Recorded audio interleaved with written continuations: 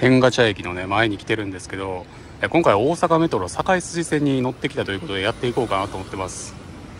大阪メトロ堺筋線は天下茶屋から天神橋筋6丁目までを結んでいる路線で大阪の大通り堺筋ね、まあ、沿って走る地下鉄路線ということで、はい、今回はねそれに乗っていきたいと思います。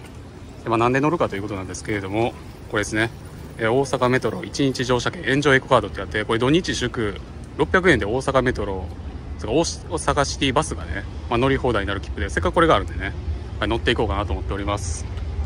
はい今回そんな感じでやっていきたいと思います。よろしくお願いします。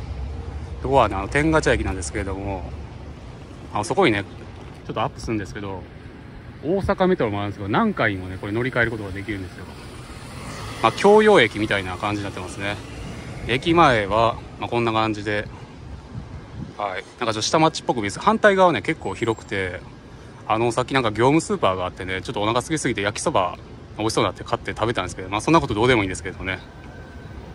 はいそれじゃあね早速駅の中入っていきたいと思います。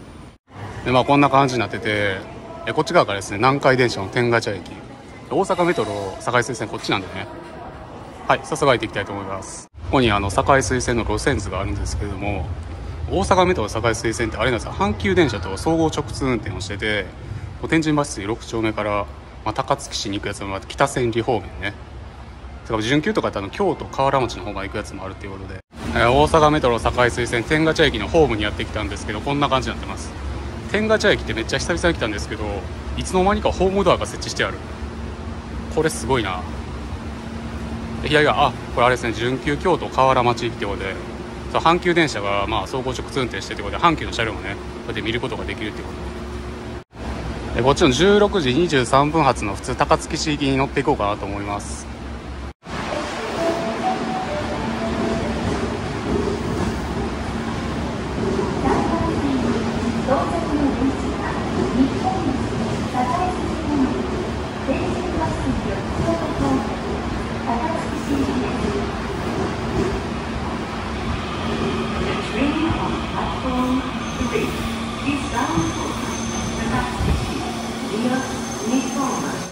16時23分発の、え普通高槻市行きでこれ大阪メトロの66系車両ってことでね。大阪メトロで第3機場終電って言ってこの線路の左側のサードレールからね、まあ、終電する方式のやつ、まあ、御堂水線とか四ツ橋線とか谷町線とかねまあいろいろあるんですけれどもほんまにこの普通の電車みたいにねパンタグラフから電気を取る方式大阪メトロではね珍しいんですよね。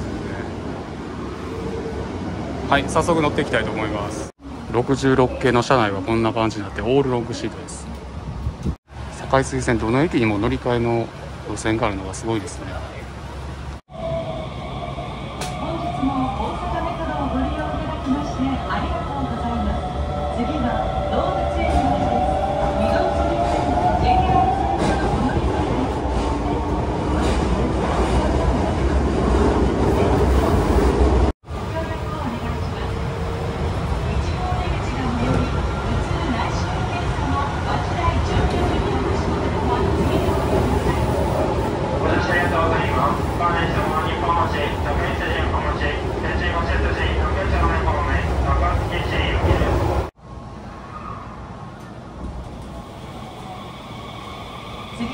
Ellis Jones.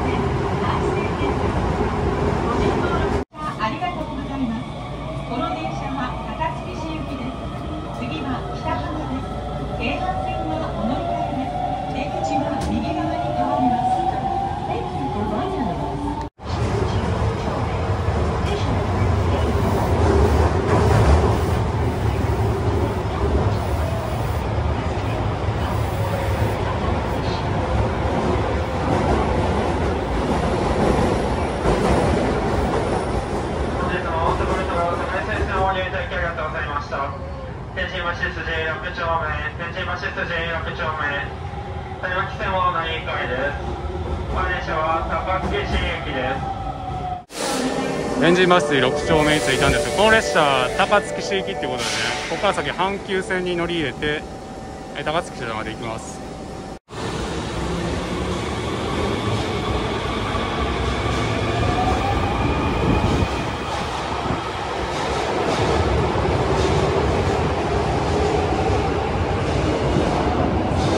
じゃ天神バス6丁目駅のまあ地上に出てきたんですけどこんな感じになってます。はい大東海で向こうにあるんですけどあれ天神橋筋商店街って日本一長い商店街みたいです。で今回あの天下茶屋から、まあ、天神橋筋6丁目まで乗ってきたんですけど天下茶屋のことを地元の人はガチャ。天神橋筋6丁目は天六って、言うんですよ。あの長いじゃないですか駅名が。まあ、略すような言うで、まあ、地元の人じゃないとこれ分かんないんですけれどもね、まあ、そう呼びます。はいじゃあ今回ね大阪メトロ、えー、堺水線ね乗ってきたんですけど皆さんいかがだったでしょうか？そうですね、まあ、阪急とまあ総合直通運転してるってことなんでね、まあ、準急やったりね。あの高槻市とか北千里方面とか、まあ、そっちでのアクセスにもね非常に便利かなと思いました、え皆さんも機会があればぜひね乗ってみてはいかがでしょうか？そんな感じで動画を終わりたいと思います。ありがとうございました。